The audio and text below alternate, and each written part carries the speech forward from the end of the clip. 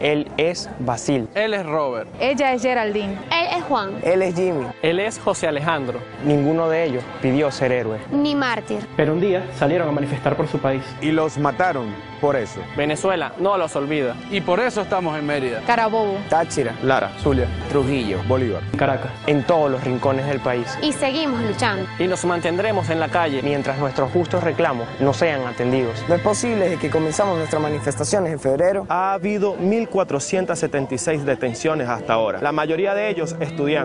Hay 33 casos de tortura denunciados. Incluidas descargas eléctricas, brutales golpizas y violaciones. 21 asesinatos. La Junta Patriótica Estudiantil y Popular no le da la espalda a ningún estudiante ante esta injusticia. No nos calamos que a los jóvenes nos sigan masacrando por reclamar nuestros derechos. Porque querer un país seguro Con medicina en los hospitales. Es ahora un delito. El régimen ha usado fuerzas de represión como nunca. tratan de callar las voces que piden justicia. Pero a ellos se les olvida. Que aunque en el poder hay unos pocos, En la calle somos millones.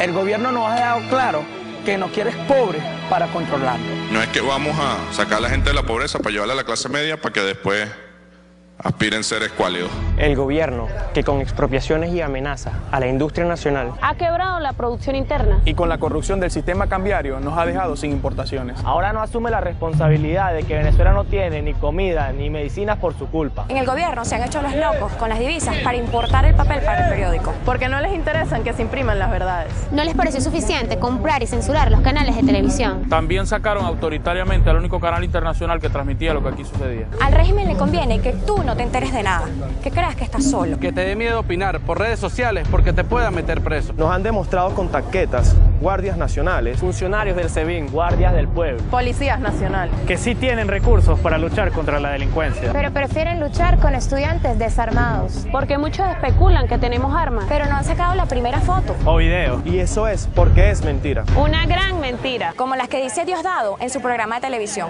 Aquí está el señor Alejandro Márquez recibiendo entrenamiento paramilitar.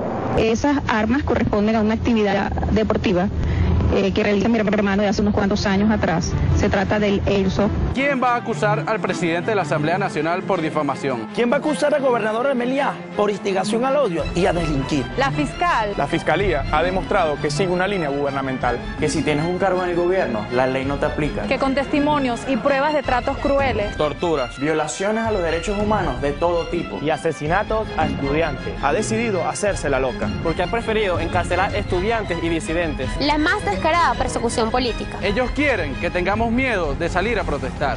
De mantenernos en la calle. Porque poco a poco se les ha ido cayendo la máscara. De que esto no es una democracia. Ya basta de que otros países tengan injerencia en Venezuela. Que la dictadura cubana meta las manos en los asuntos internos de nuestro país. Que Rusia construya una base militar en territorio venezolano. Que nos hayan embargado con China. La soberanía de Venezuela se respeta. ¿Cómo podemos dialogar con un gobierno que miente? Difama. Reprime manifestaciones. Violentan sus derechos civiles y humanos. Y asesina a venezolanos. Necesitamos un cambio real. Nadie le va a regresar su vida, ni a Basil, ni a Robert. Ni a José Alejandro, Jimmy, Wilmer. Asdrúbal ni Alejandro. Ni a los 25 mil venezolanos que fueron asesinados en el 2013. Se tiene que acabar la impunidad. La injusticia. Porque por cada estudiante que encarcele, Torturen. O maten. Mil más saldremos a clamar justicia. Les pedimos que no nos abandonen. Que esta lucha será larga. Pero entre todos venceremos. De eso no tengan la menor duda. Comparte este manifiesto por tus redes sociales. Protesta, volantea, escribe, haz pancartas.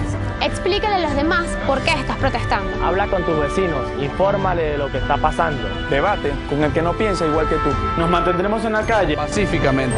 Porque esta lucha no es solo por los estudiantes. No es solo por los incidentes. Los que piensan diferente. Esa lucha es por todos los venezolanos. Aquí protestamos por los derechos de todos. Venezuela, Contamos contigo. tú cuentas con nosotros. Libertad O nada.